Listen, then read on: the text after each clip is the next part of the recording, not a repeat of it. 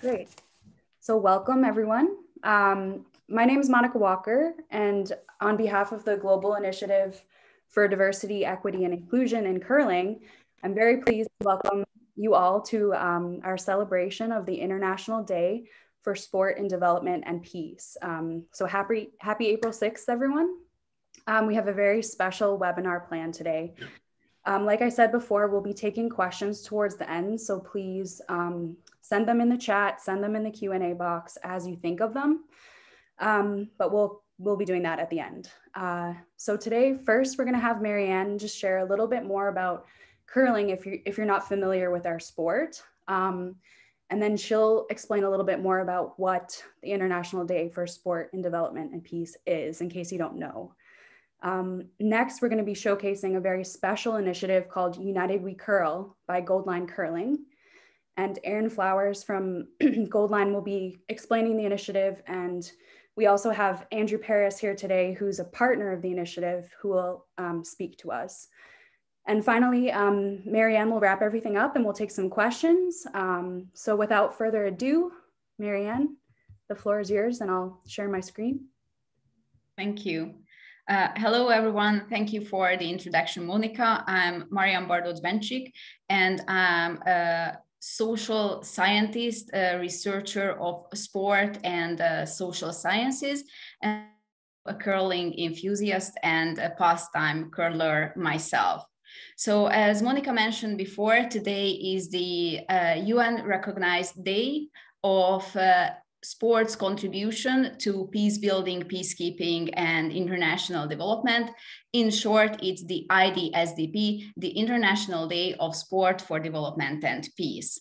We can uh, move one slide, Monica, please. So yeah, what is Sport for Development and what is the International Day of Sport for Development and Peace about? So the United Nations in 2013 recognized uh, the uh, sports contribution, uh, possible contribution to reaching the so-called sustainable development goals, which are 17 global goals, which are to be obtained by 2030, and they are to to make the world a better place. They include uh, goals such as ending poverty or contributing to the fight against climate change or building strong and just institutions. And as the UN recognized the importance of sport uh, in uh, this uh, fight for these goals, they proclaimed the 6th of April to be an awareness raising day of this sport for development and peace movement. So uh, today is actually the seventh International Day of Sport for Development and Peace. And uh, in the past years, there were numerous different campaigns on-site and online events uh, to showcase the power of sport in creating social change. This picture was actually taken two years ago at the World Men's Curling Championship, where uh, we were uh, uh curling players were asked to pose with the icons of the Sustainable Development Goals. And here's one of the most successful curling players today, Oscar Eriksson from Sweden, posing with actually all 17 goals. We can uh, move on slide, Monica. Uh, and just briefly, how you can imagine what sport can do to contribute to these global goals. Um, the Sport for Development and Peace movement is actually using uh, sport as a tool uh, to contribute to these goals in various ways. It can be used as a core of a programming, and through sport, you can teach different life skills, different uh, different positive attitudes uh, to participants. Uh, and of course, it can include not only sports, but all types of physical activities, such as fun plays, dances, yoga, and uh, such. Or the other hand, you can actually use sport as only a flypaper to educational and awareness raising uh, campaigns. For instance, the education about various uh, disease prevention methodologies and so on. So actually you, sport can be used as a hook as well to invite potential participants to these uh, initiatives. And uh, a couple of uh, words about curling, if we can move one slide, Monica. Uh, because we are talking today about a Curling for Social Inclusion project, which is a really, really unique initiative with a winter sport called curling. It's an Olympic winter sport that is uh, played uh, between two teams of uh, two or four players, depending on the format that you're playing. And it's actually uh, throwing really heavy granite stones and a really long sheet of ice to a special target uh, on the ice surface, which is called the house. Now, following various uh, tactics and uh, strategic elements, the main goal is to score as many points in one part of the game uh, as you can, of course, uh, by uh, placing as many stones closest to the center of uh, this uh, bull's eye painting on the ice than your opposing team. Uh, curling has really special equipment, including curling shoes, curling gloves, and the so-called broom. Now, as you can see on the pictures, the broom has various functionalities in this sport. First of all, if you slide on this really slippery sheet of ice, it can help you balance your move. On the other hand, you can use the broom's bright head as a target. So your throwing uh, player uh, teammate can more easily target the place where uh, he or she is shooting for. And finally, as you can see, uh, as the two gentlemen are cleaning the ice in front of that uh, blue uh, stone, it's because in this case, they try to alter the route that the stone um, travels by heating the ice surface before it uh, with really uh, fast moves, which heats the ice. And it's all done by this curling equipment, which is called the broom. Now, the United We Curl project by Goldline Curling and its partners is all around these brooms. So now I let Erin Flowers and Andrew Paris uh, talk to us about why this uh, United We Curl project is so unique and what they do with the brooms in it to create a sport for social inclusion. Erin, Andrew, the floor is yours. Thank you. Thank you, Mariann. Yes, um, it's an exciting day. I just uh, just want to say hello, everyone. I want to thank you for taking your time out of your day to tune into this webinar. Andrew and I are both very grateful for this opportunity to share with you all. It's a it's a big day for all sport. I uh, I'm just going to jump right in. I uh, with a little background on myself. Uh, who am I? Um, and who's the company? My name's Erin Flowers, and my grandfather started this little curling company over 50 years ago my father took over the business when I was quite young. And I, I basically had front row seats to the reality of running a small business in Canada for many years. I began working full time with the company about 20 years ago. And um, my father retired in 2018, and I now run the company with two great men, Andrew Brett and Pete Townsend. I have to admit, nothing connects you more with your business partners than a global pandemic. I, uh, COVID has taken its toll on recreational sport, um, really as a whole in Canada, but we're grateful to keep our head above water in this niche market. We're stronger than ever, and a lot of that has to do with why I'm here today. Um, back in June 2020, our uh, company made a statement acknowledging we haven't done enough to make this sport safe for racial, racialized persons.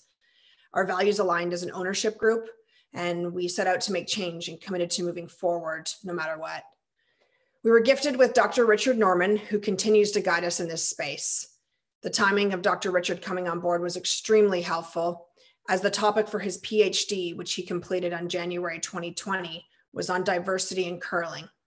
And his research was fresh and, and painfully accurate. It became evident, especially through this pandemic, that Canada is made up of small businesses just like ours. And as the fall of 2020 approached, we were pretty much in survival mode, but we kept pushing to take steps forward to change the face of curling. I was reading articles about companies, big, small, and micro size that were making change and not just making hollow statements. It was about social accountability. And if we as a company are going to take are, are going to talk about change, then we really need to live it. And um, for those of you who know curling, um, as Mariann did did explain, it's it's the brush is uh, one of the most prominent pieces of equipment in the sport. It's four feet long and it has a one and one eighth circumference of space. In 1998, curling became an official Olympic sport, and the branding on a brush is by far one of the more memorable pieces of equipment you'll ever see on TV. I knew these were the perfect billboards to help us on this journey to understand what is important in these communities and that have been left out of the sport we love. I've been grateful over the years to meet some incredible people in my business travels. I right away could think of three passionate curlers I would love to see create these brushes. I was on a Zoom call and I virtually met a gentleman named Andrew Paris. I was immediately intrigued and captivated by his voice on this subject of race in our sport. He knew he knew what was important and I wanted to know more. I also met a young man, Graydon, at a curling event in Yorkton, Saskatchewan in January 2020. Graydon's passion for the sport of curling was evident, and he came into our booth to buy his shoes. He has a story, and I wanted to amplify it on a brush in every way possible. Deb Martin is a curler from New, New Jersey. If you've met Deb or you've been in a room with Deb, you already know how incredible she is. Her love of the game is beautiful, and so is her drive to see the sport change for the better. It's been something, sorry, it has been some of the most meaningful work of my career as I continue to spend time with these three amazing individuals in this process of designing these brushes and seeing what's inside of them come to life on this canvas, kind of known as, as the curling product in a brush. We see this product as a gift, an educational piece to the curling community. Therefore, all proceeds of these brushes will go back to the projects, charities, or initiatives each individual chooses as they grow the sport in their respected communities. In February, we are proud to announce United We Curl as our overall initiative that will work closely to amplify the voices of racialized persons in curling.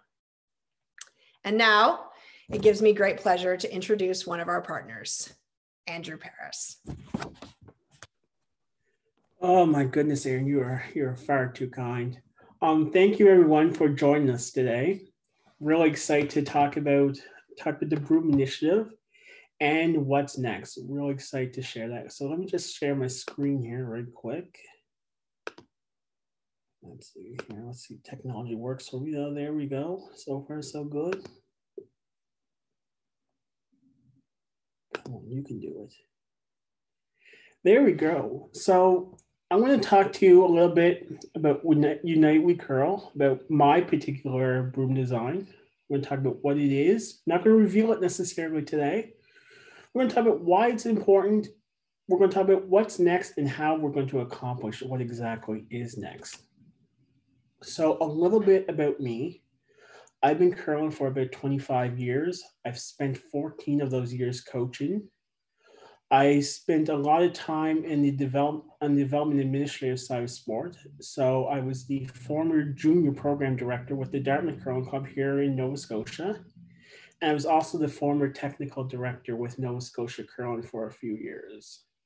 I also still volunteer my time as a sport and recreation consultant to a variety of curling clubs, but also sport other sports other than curling and also work a little bit with um, Sport Nova Scotia too with some of their funded initiatives that they have going on.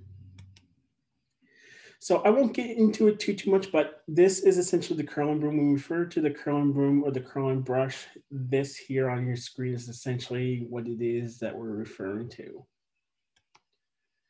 So like Erin said, um, we chatted, this would have been back in the fall of 2020 about designing this curling broom to um, to bring a voice to um, my particular community, to um, the Black Nova Scotian community, the Black Canadian community, and how we can amplify that to start a conversation. So part of the reason why we chose the curling broom is it's the piece of equipment that everyone uses, regardless of their skill level or their experience. The curling broom itself, really excited to reveal here in the next few weeks. There's different symbols and stories on it. The whole piece of equipment tells a story from end to end. So this is more, in my mind anyway, this is more of an educational piece. So that when you see it out there on the ice, you know, you look at it and say, what's that? And then that tells a story.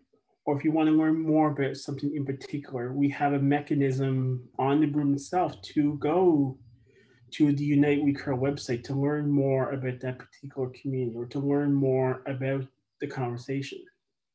And that's the most important part of all of this is that it creates a conversation. For those who aren't so familiar with curling, it's a it's a very white sport. Let's just be blunt and put it out there. The majority of the people who play our sport are white. Um, at for most of my curling career, if you want to call it a career, uh, I'm usually the only black person on the ice which creates a whole variety of issues, both positive and negative, that we're going to get into during our during this presentation. So on your screen right now, we have a variety of communities. Some you may have heard of, maybe you've never heard of any of them. But what these are, these are six both current and former Black communities here in Canada and their names are prominently displayed along with 24 other communities on the broom itself. So a big part of the story of the broom is to talk about these communities and how that they play into our history and how we can invite people from these communities to come on out to the curling club. So like I said, we, we have 30 of them in total. Perhaps you've never heard of the bog. So the bog is in PEI. It's a former, former black community in PEI. Perhaps you've never heard of Africville. Africville is a community in Halifax, Nova Scotia, that actually was demolished in the process of building the Mackay Bridge. So we want to talk about the history of these communities, both the positive and the negative side, because it's a very important conversation to have. It's a very important educational piece. So actually, let me just back up here for a second. Um, what's going to happen is once this broom is released, a part of the proceeds are going to go to the initiative that I'm going to introduce to you for the first time today. So why we need an initiative, we really want to change the image of curling. So, like I said, it's very much a sport that's played by mostly white people. Not that there's anything inherently wrong with that, but in the black community, whether whether we like it or not, curling is perceived as a rich sport for white people. So a very high class sport we as curlers know that that's not necessarily the case but we need to start a conversation in order to change that image. We also want our curling communities to have stronger links within the community and the only way to do that is to diversify your membership within your club. The initiative that i'm working on is going to create learning opportunities for the management of the curling clubs, for the volunteer board of directors, and for the members themselves.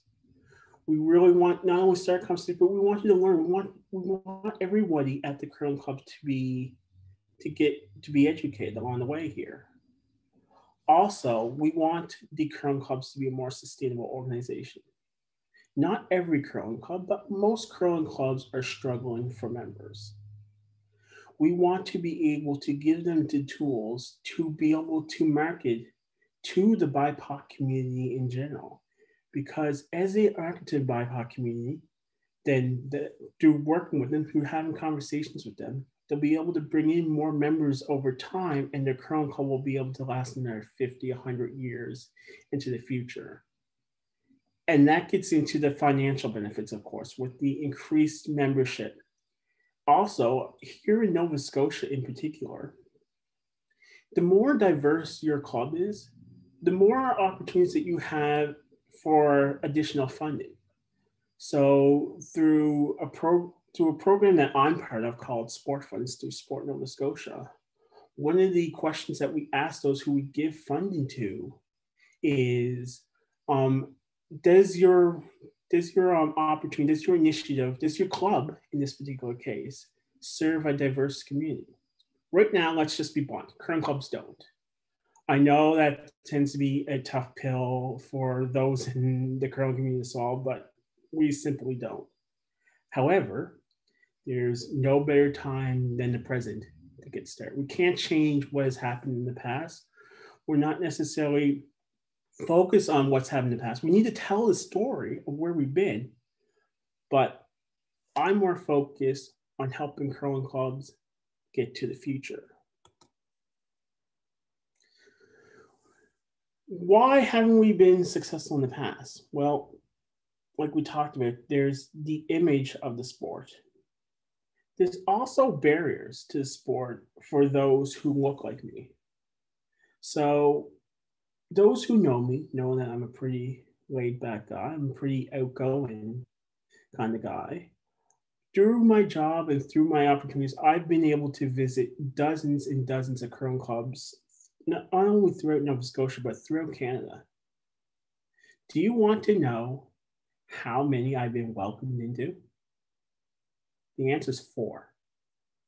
Four curling clubs. Usually, what happens when I walk into a curling club is I get a look of what are you doing here? Or there's some confusion as to why has this black man walked into the curling club? That's usually what I that's usually the reaction I get. There's nobody at the door saying, no, you can't come in. That's never happened.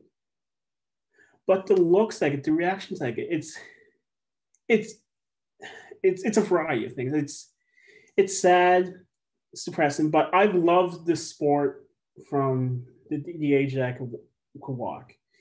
You know, my mother tells me about how sliding soup cans across the floor in diapers with a little circle for a house that she taped on the floor. But as you can imagine, somebody who's never experienced curling before, you walk into the club, you walk in onto the ice, you see nobody who looks like you. And on top of that, when you walk in, there's that confusion as to what you're doing here. In fact, one curling club I went into, we shall not mention their name, I walked in and they said, Oh, you walked into the wrong entrance. The mall's over there. That's a true story. So you can imagine that right now, like I said, there's no physical barriers to the BIPOC community going into a curling club. There's very much invisible barriers. As curling clubs, some of them, if we're being blunt, just have a lack of motivation towards diversifying the clubs. There are very few, but we know that that problem exists. Um, why this hasn't worked in the past? Perhaps there's a lack of a marketing plan. How do we market to these communities? A lot in my history, when we have this discussion, whether it's board directors or club managers, they say, oh, well, you're black. Here, why don't you go into the community and make our clubs more diverse? Here's the thing about diversity and racism in general it's not the minority's job to fix the problem. 100% willing to help, 100% willing to do what I can, but it's not our job to fix racial issues. And that's a big challenge that we have in general, not just specifically in curling, but that generally exists there's been a lack of collaboration. So, collaboration on a number of fronts. First off, there hasn't been collaboration with the community. And what I mean by that is I have relatives who live in East Preston. It's one of the largest Black communities here, not only in Nova Scotia, but in the entire country. And one of the things that my aunt was telling me about is she says every February during Black History Month, we have all kinds of different sports, all kinds of different initiatives that enter the community. They come in and say, We want to do this, we want to do this, all kinds of different things. But then once March 1st hits and Black History Month is over, if that initiative, if that program hasn't gained any traction, well, out it goes and then it comes back again. Maybe it comes back again, maybe it does, but then it comes back around next February. We need to recognize that if we are to be successful at this, it's going to take time, it's going to take genuine conversations with those communities. to understand things such as their history, for example, which part, which the broom that we're going to launch is going to explain a bit of. But just having a conversation to show that you genuinely care about making our clubs more diverse. We genuinely care about some of the issues that Black people face, that Indigenous people face, that all the BIPOC community faces when even just getting to a sporting facility.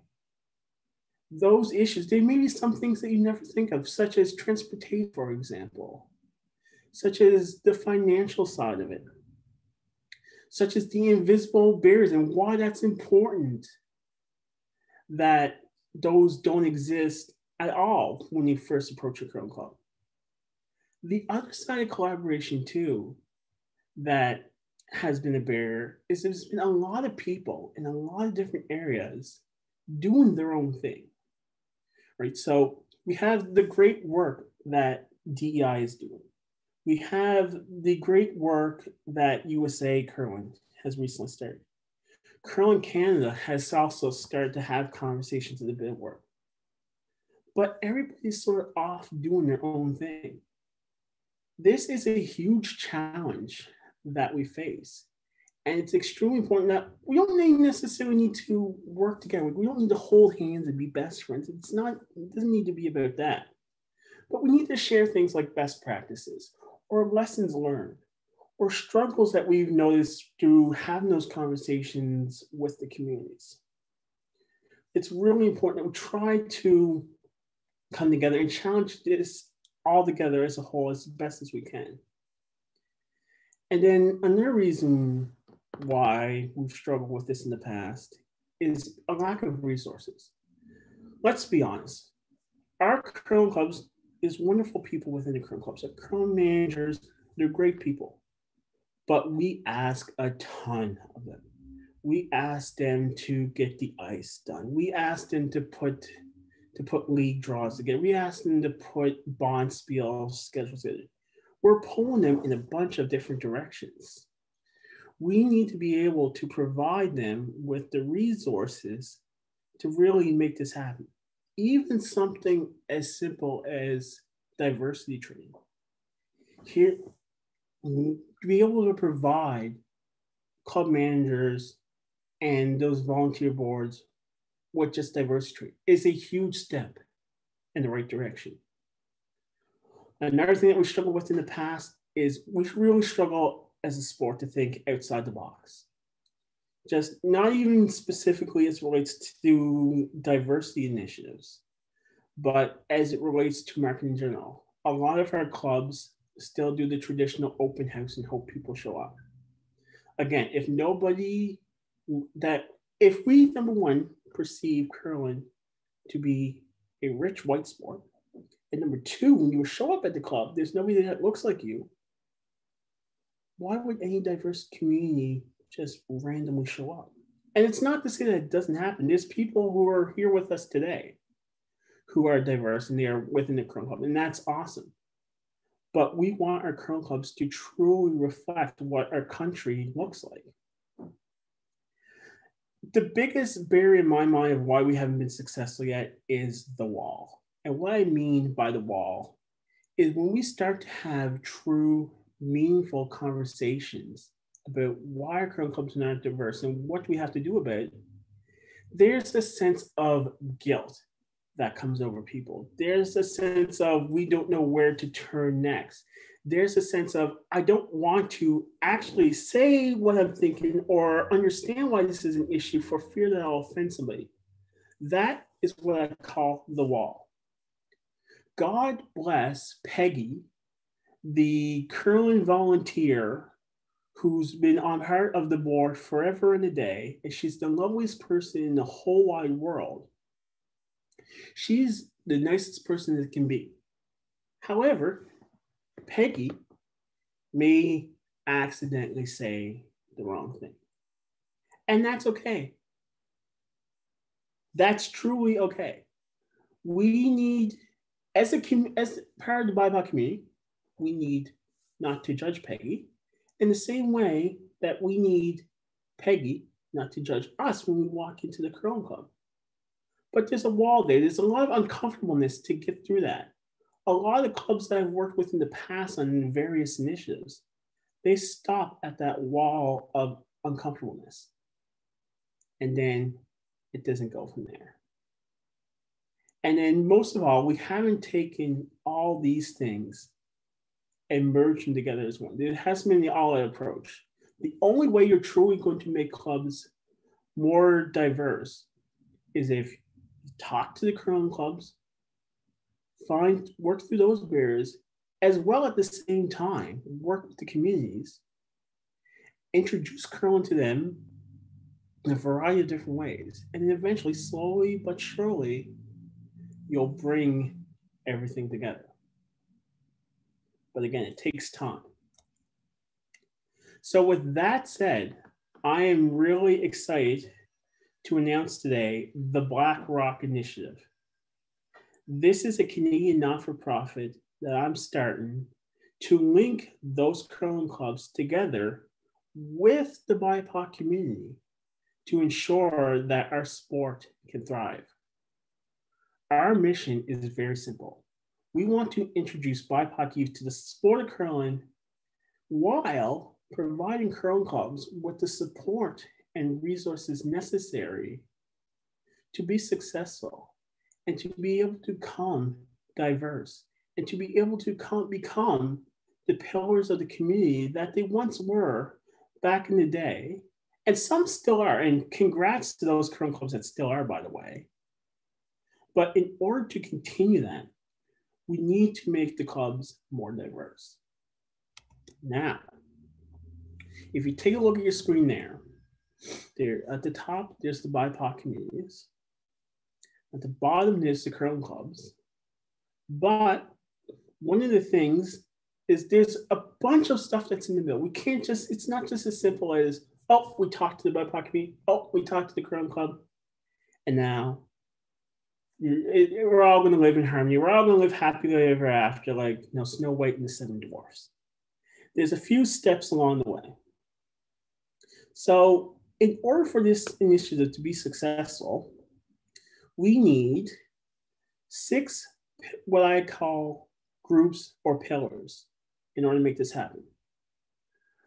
We, the Black Rock Initiative, need to work with the existing initiatives we need to learn about the work that they've already done, not to criticize it. Sure, we're not going to criticize it, but to learn the lessons that they've gone through. To piggyback, for lack of a better term, on some of the work that they've gone through. We also need to work with our education partners. And by our education partners, I'm referring to our schools, for example within each of the schools, they've done work with diversity already with the with the BIPOC communities. We have here in Nova Scotia, we have opportunities to partner with our local Department of Education to have another avenue to introduce curling to these communities. We also need to work with our sport partners. So you know, when our local member associations, such as Nova Scotia Curling, we need to work specifically with our provincial sport partners, such as Sport Nova Scotia here locally, for example. We need to work with our NSOs, our national sport organizations. So whether it's USA curling in the States, whether it's curling Canada here, or in our case, one of the partners that we already have on board is the Grand Slam of Curling. Working with them, we're going to work with them to reveal the broom and to really kickstart this conversation.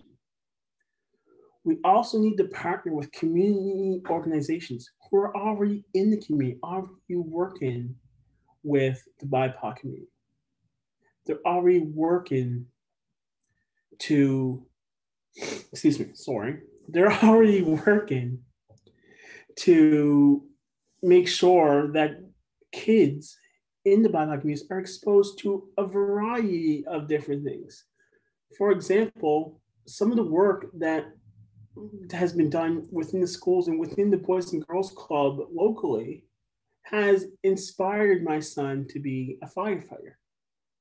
That's really awesome. It's something that he he's gun ho to do, and it's to work like that. We want to be able to partner with those communities to introduce curling. Fifth, we need business partners on board. So we are excited to be working with business partners such as Goldline Curling, for example, on the design of the broom. We have a variety of other business partners who, that we're going to announce here over the coming weeks to really help kickstart this initiative. And then last, and certainly not least, and some might argue it's the most important part, we need community allies. I know I talked a lot about the doom and gloom of current clubs and why we struggled in the past. But we know that there are some really good people within these curling clubs who really do want to see change. We have some of them who are here on this webinar today. We need you more than ever to really make this happen. So when we take those six pillars, those six boxes and put them together, that's those are all the groups that we need to ensure that the current clubs, they're on the bottom. And just because you're on the bottom doesn't mean you're not important.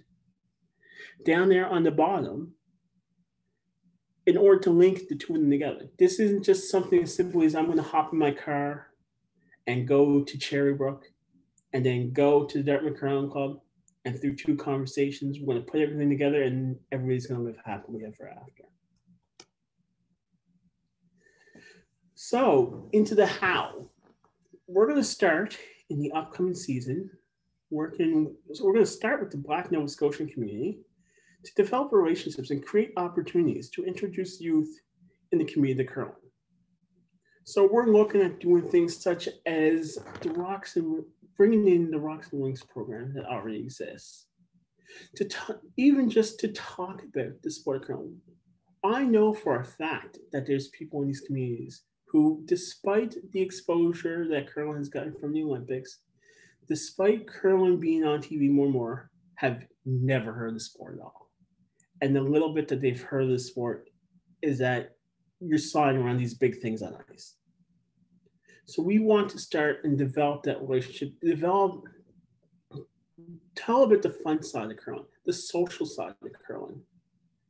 At the same time, we're also going to be developing relationships with our Indigenous population, with our First Nations here in Nova Scotia, and new Canadians to Nova Scotia. As well, we want to use existing partnerships within the sport and creating new and creating and fostering new relationships. So again, it's a lot about not even the sport itself, but it's a lot about developing relationships, introducing the initiative, introducing how fun sport is in general, but specifically curling. On the curling club side, what we want to do, actually, sorry, I almost missed this slide. Once um, we um, introduce these BIPOC youth to curling, we want to follow up with opportunities to try the sport, leading to a modified learn to curl session specifically for their community. Why do we want to go about this from this perspective? What we've seen locally, we've seen hockey try this, we've seen soccer try this, recently swimming, Swim Nova Scotia tries. We know that this is an effective model, but we know that we have a lot of barriers to break down in the community in order to get to a point where we can start to see success. And success for us it just starts by having those kids come into the ice we know curling isn't for everybody but we also know that once you get kids out into the ice sliding around throwing rocks up and down the sheet it's a ton of fun and you want to come back and try it again that doesn't mean that we necessarily that the community is necessarily has the next Rachel Homan per se or the next Jennifer Jones, but we don't know if we don't try. Now, going back to the curling clubs, we need to work with them to explore where they are currently as it relates to diversity. Perhaps some of these current clubs have never talked about diversity before. We need to provide support with them to do the heavy lifting and breaking through the wall. So the heavy lifting, again, we go back to our club managers, to those volunteers who run the curling clubs. They have a lot on their plate.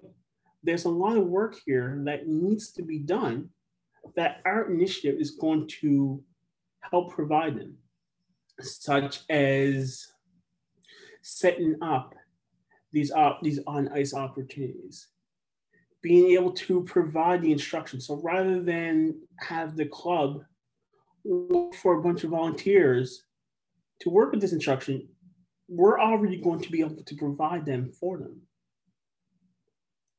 The work of making sure that the kids get to the curl club, that's going to be, you know, as my mother would say, a chore and a half.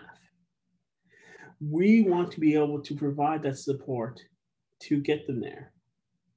And then, of course, the breaking through the wall. There's a lot of uncomfortable conversations that we need to have with curling clubs to get to a point where not only are they comfortable with having the BIPOC community come into their club, but also um, the BIPOC community themselves going into the club, right? There's a lot of work that needs to be done on that end.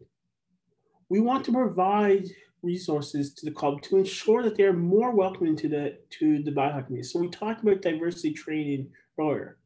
We want to be able to provide clubs with diversity, true diversity training, not just clicking through an online training tool and having it pop at the other end, oh, you're certified. No, true diversity training so that they understand a bit more of what does the world, what does the curling club look like through my eyes or somebody who looks like me? So we talked about diversity training. We talked about having those conversations and those reasons. We want to be able to provide them for ideally free of charge or for a limited cost. We need, want to create capacity within the club to ensure a more welcoming environment. So what that means is we want to ensure that we have leaders within the club who will run with the torch long after the initiative leaves. It Doesn't mean that here's the tools, I'm here, I'm done. No, but we also recognize that in order for the program to expand from one end of the country to the other, that we need to create capacity within each of the clubs because we simply just can't be in, say, a club in Halifax, Nova Scotia one day, and then the very next day be in a club in Oakville, Ontario. It's just not realistic. So we want to create the capacity for these curling clubs so that the club continues to become more and more diverse long after we leave. And then we are going to create a tool for clubs to go through so that they can proudly display to the world that they are a certified Black Rock Initiative club. That's something that you can proudly display. We're looking to work with our sport partners to ensure that such a certification is meaningful, something that you can proudly display within your club. So when? Well, we're going to get started now. We've already been doing some work with Goldline, like we talked about, to promote the broom. That's going to kickstart a conversation. We're aiming to start working with some Nova Scotia clubs this fall. We hope to expand elsewhere in Atlantic Canada by mid next year, so mid 2022. And then within a couple of years of that, within 18 to 24 months, we want to expand to the rest of Canada we we had talked about initially talked about the United We Curl initiative with Devin Heroux and Colleen Jones with CBC. The amount of feedback and positive feedback that we got back from clubs across the country was super exciting. We know that eventually we can expand this across the country. We know that the interest is there. And like I said, we definitely believe we can expand this across the country. The reason why there's such a gap that we're not starting everywhere now is we need to ensure that we incorporate feedback from all six main groups, but especially the BIPOC community, to ensure that we're creating a long lasting impact. We don't want to rush this. It's not a matter of here's our checklist and we're just checking out box after box after box. And like I talked about earlier, we really need to ensure that in order for this to grow successfully, that we really need to make sure that we create capacity so that we have leaders in each of the regions that we go into to ensure that not only these modified learned curls run successfully, but long after the Black Rock Initiative leaves, that diversity can flourish for many years to come. So one of the pillars that we talked about were community allies. They're extremely important. So you may be on this webinar today, or there may be somebody who learns about initiative and says, I'm not a member. I'm, I'm not a member of the BIPOC community. How can I help? Or how can I be of assistance? Or what can I do?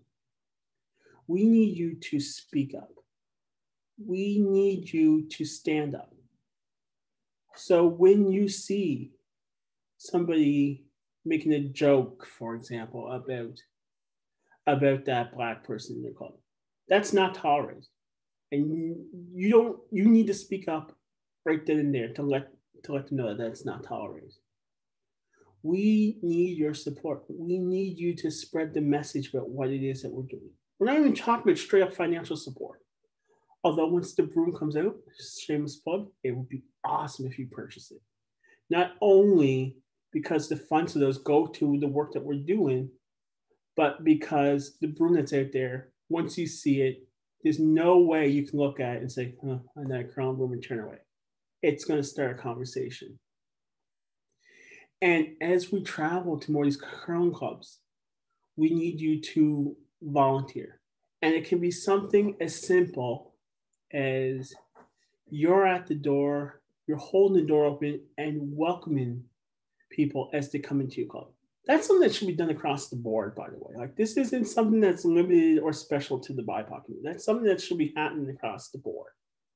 But again, because of those invisible barriers that we talked about earlier, it's extremely important that we have those sort of things in place to make sure that the BIPOC community knows that they are welcome there, that they belong there, that we are happy as curling clubs to have them, to have you there.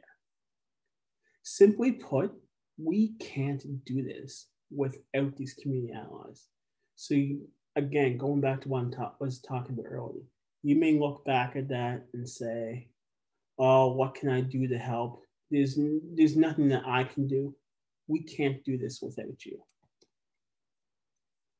And like I said, most all, this will take time. This isn't something where we're going to start and then magically within three months all the problems are going to be solved. And then by the beginning of next year, our clubs are going to reflect what our country truly looks like. This is going to take time. And I encourage you to be patient as we work through this together. A couple of things that I tell my athletes that I work with that is also extremely important for this. You need to get comfortable with being uncomfortable because like I said, the wall, it's the biggest challenge that we face. There's going to be some uncomfortable feelings. You need to get used to those feelings, accept them for what they are. You not only will your curling club grow, but you will also grow as a person. And this, this is something that I actually have posted in my office at work. Will it be easy? Nope. Will it be worth it? Absolutely. And this is what keeps me driving every single day. Before we go, I need to quickly say thank you to a few people. First off, my wife, Jen. She puts up with me acting crazy all the time. Or me running out. Yeah, she look, she she just just rolls her eyes right now. or she would, does this look good? Does this make sense to you? At all hours of the night. So I can't thank her enough. To Erin Flowers and the entire team at Goldline, it's been an honor working with you guys. I can't wait to see what we accomplish further. To the Global Initiative for Diversity, Equity, and Inclusion in Curling, the DEI Curling Group, you guys have been a huge support. Very proud and impressed with the work that you're doing. Look forward to working with you in the future. And thank you for having me today. To Rich, Rich is a mentor to me. He's done a lot of work in this field. I can't thank him enough for everything they've done, including um, the work that he's done in Logo that we're going to reveal in a minute. Monica, she takes texts from me at very random times, even when I know she's on the ice trying to train to make it to the Olympics. She's helped with a lot of work that we've done. So thank you, Monica. And then Janessa McPherson, who works with Sport Nova Scotia, she's helped me a lot with some of the administrative stuff with getting this not-for-profit up and running. So I can't thank her enough. So with that, that's our logo there follow us. We have Twitter, Instagram, and Facebook up and running. We are soon going to have our website up and running. Be sure to follow us. Be sure to tell your friends about us because this isn't a drop in the bucket, boys and girls. We're here to stay and we're here to make lasting change. So, with that, I'm going to throw it back to Monica so that she can take any questions that you might have. Thanks, Andrew. Um, Mariann, did you want to do a, a closing for um, April 6th? Yeah, thank you. Thank you so much, Erin and Andrew, for this great presentation of United We Curl. Now, as I've mentioned to you, I'm a researcher, and in research, we take a really critical look at these sorts of sport for inclusion, sport for education initiatives. And I did it. I actually made a couple of uh, notes on, on um, the presentations, and I would like to highlight uh, some aspects of it, which actually makes it a really good practice, not only for curling clubs, but for the sport for development community in general. So everybody can, can learn from it. So first of all, uh, my colleagues who work in sport for development and peace and joined us today can, I think, agree with me that it's really rare that a company, a private sector a stakeholder initiates such a, a project. Normally, uh, these ideas are coming from local clubs, grassroots organizations, community-based organizations, or individual volunteers, and they actually knock on the door of the corporations to get some funding from them.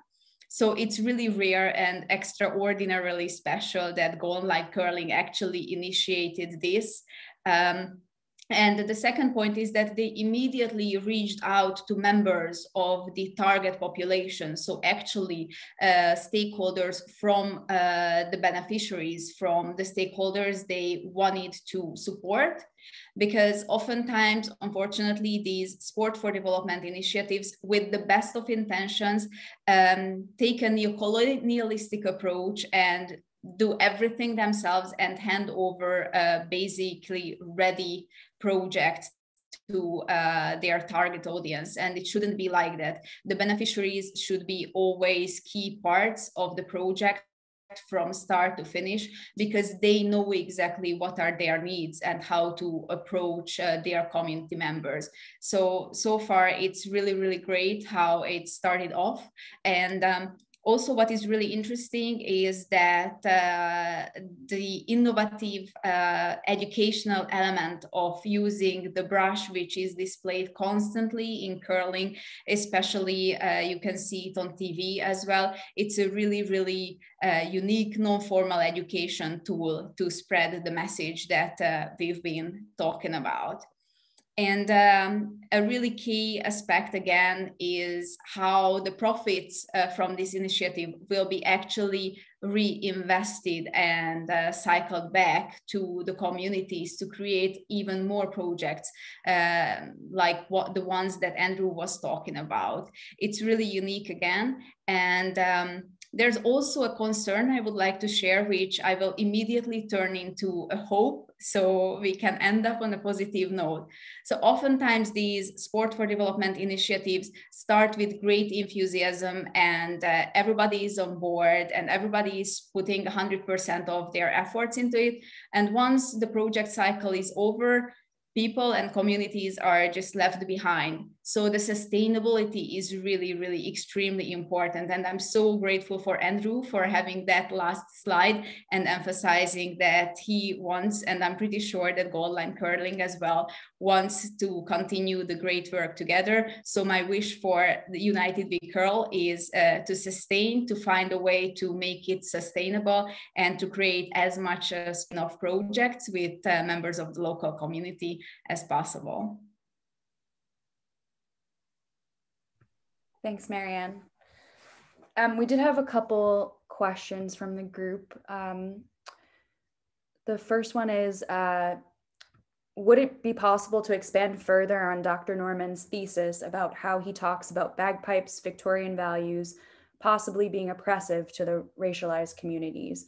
And I, I know Dr. Norman isn't on this webinar. Um, would anyone like to, to speak to these thoughts right now, or maybe we can um, connect Tyler with uh, Dr. Norman at a later time. I won't necessarily speak on behalf of um, Dr. Norman, just because one, I'm not him, but he's, he's 100% right. So those, when you walk in and you see symbols or symbolism that are associated with your culture that are also racist. Like that's a huge problem. Now, the work that we're doing with the Black Rock Initiative hopes to address some of that, but th- that particular part is so, I won't say, it's so far ahead of where we need to just to even have a starting point. It's, it is a huge, it is a concern of ours, but that's also down the road. And like I said, I don't want to speak too much for um for Dr. Norman as to how he relates to that, but it is a concern. It is a very real issue within the curling communities. Yeah, and I'm not an expert in this at all, but kind of from what I've picked up along the way is that you know a lot of these things that we tie so closely with curling and we're so familiar with curling like bagpipes and um, pictures of people curling on ice outside. Those things are great and they tell the history of our sport, but they don't necessarily um, represent everybody in curling. And maybe that becomes a barrier to entry for people who are coming in. So just something to think about in the future for curling clubs. Thanks for that question. Um, yeah, I, I wouldn't mind just commenting too. There's some uh, interesting, they become almost tools to some of the curling community, which was conversations that um, Rich had with us at Goldline throughout the summer on Instagram. And he did speak to that. And I just think if there's a, a bit of a, um, a library of some tools in terms of direct conversations with Dr. Rich Norman, uh, we did um, speak to some of the, the more uncomfortable questions. So if you'd like to look into the history of that, I think uh, I've had a few people mention to me they've been great tools for them. Yes, definitely. Um, I was going to also add, uh, please check out Goldline on social media, especially that Instagram live series. Um, and also check us out on social media, the Global DEI, Global Initiative for DEI in Curling. Um, does anyone have any questions? I think Katie, you have your hand raised. I'm not sure if you have a question. Um, I can allow you to, to speak if you wish. Um, if you could just shoot me a, a text in the chat to let me know. Oh, okay, never mind. Um, I just wanted to highlight we had some attendees from um, the Malvern community, somebody who grew up in Malvern. So that's interesting. Um, Mariann provided the uh, attendees with the infographic that you guys saw Oscar holding. So today for April 6th, if you have the opportunity to um, share things that we have out on social media, including that infographic, today is the day to do it. Um, we would really appreciate everybody getting involved on social media. So again, check out Goldline Curling and also the Global Initiative social media for things to share regarding today. Um, what else? Uh, Brody from Curling Canada also shared um, the initiatives that Curling Canada is working on, which is really exciting. Um, we definitely want to share best practices and resources and that may be a good start for curling clubs as well. So thank you for that, Brody. Um, someone else mentioned that during the COVID pandemic, maybe curling clubs will have a bit of a, an instinct to get involved with their local communities. So I, I appreciate that comment. Um, does anyone have any last questions? Let me see. Oh, um, someone asked, what is the best way to contact any of the panelists to continue the conversation?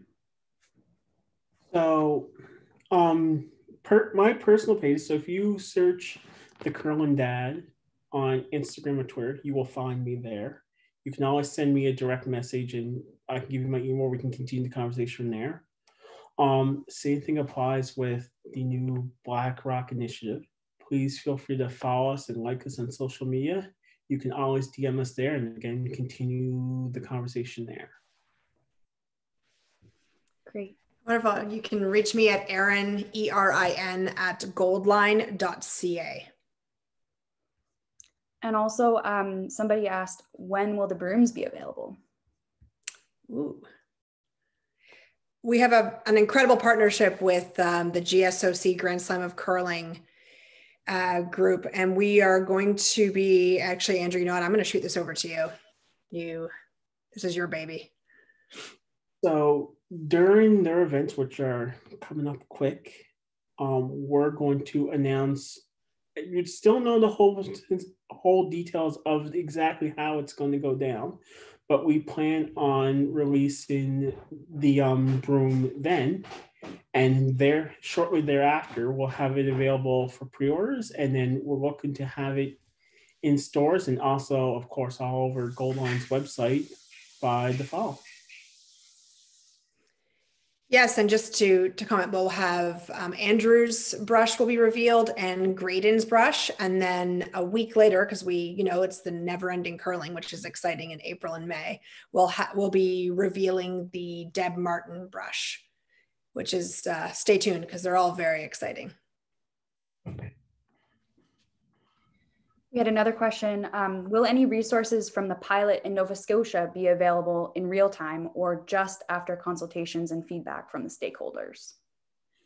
So some of it will be available in real time. Um, depending on specifically what it is, um, we're going to want to um, review it and look it over necessarily before we release it all. But like I said, we really want to um, start conversations even outside Nova Scotia so that as we work out the kinks, for lack of a better term, that we can roll them out more broadly to other clubs across Canada. So I sort of straddled the fence on that answer. So yes, some of them will be, and some of them won't be depending on specifically what it is. Any um, last questions from our attendees? Now's your chance. Okay, well, um, I just want to thank all of you for participating in this in this webinar. Andrew, it was so exciting to see um, the Black Rock Initiative be released, and I love the name, and I'm really excited to see what comes out of that. And as always, Goldline, we can't say enough about this project. It's really unique and awesome, um, and excited to see what you guys are up to in the future as well. And Mariann, thank you for um, moderating and um, I hope everyone has a good rest of your day and we'll be putting up the recording for this on YouTube. So if you want to refer anyone else to see this, please visit us there. Thanks all. Thank you, Monica. Thank you, Mariann. Good to see you, Andrew. Thanks, everyone. Happy April 6th.